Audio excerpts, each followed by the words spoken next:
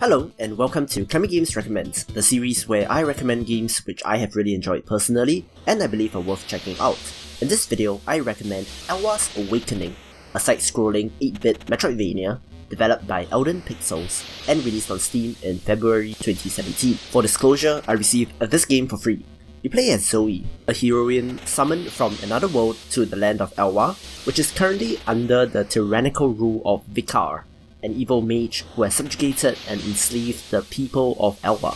Zoe then sets off to defeat the four protectors, each having laid claim to an ornament of Alwa, and once these ornaments are gathered, she can then use them to confront Vicar in the final showdown. The standout feature here has to be the art style, and this game is a retro throwback in every sense of the word. Big fan of the pixel art here, and the environments, characters, and enemies in the game are all superbly done the art here does remind me of that in Shovel Knight, which of course is a natural link to make given that these two games both pay tribute to the games of the past. Levels or screens here are grouped into locations such as the Ember Sicilium, the Shrine of the Sea Monk, Central Alwa, or the Forsaken Valley, and I really love how each felt different, especially due to the color palette used in each area. This game features over 400 unique rooms and I do appreciate the volume and the variety of each scenario.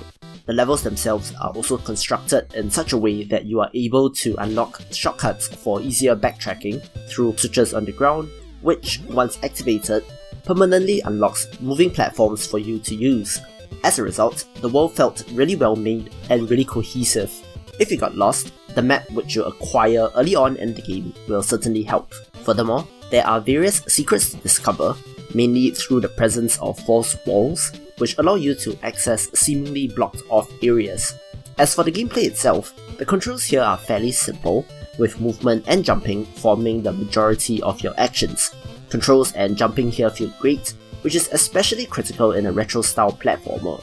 Early on, Zoe gains a staff which you can use to attack enemies, and the interesting part about this staff is that you can acquire various magical gems to slot into it which forms the Metroidvania style progression. For example, the green gem allows you to conjure up a block which can use to activate switches, form temporary platforms on a bit of spikes, and even to extend the range of your jumps through jumping off a higher position. The blue gem allows you to summon a bubble, which allows you to reach places that are vertically higher, which then allows you to access new areas that you have encountered in the past. What I really like about this progression is that the game first shows you these tools in the environment, such as having stray blocks lying about, or bubbles that form over bodies of water, before giving you the ability to conjure up your own. This meant that when you got the ability, you instinctively knew how to use it and can think of previous locations where this ability would come in handy.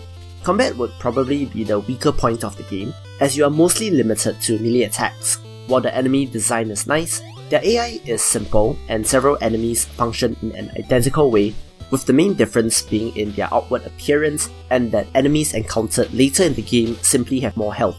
The boss fights here are fun, making use of the newly obtained gemstone in their respective dungeon.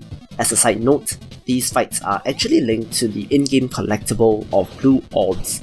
According to the in-game text, collecting more orbs weakens the bosses, which adds meaning to the collectible and encourages you to explore, this also ties into the map function, as rooms belonging to an area are highlighted in red when you scroll through it, and for each area, the map actually tells you the number of orbs that you have collected out of the maximum number that can be found, which allows for easier tracking down of these if you are aiming for 100% completion.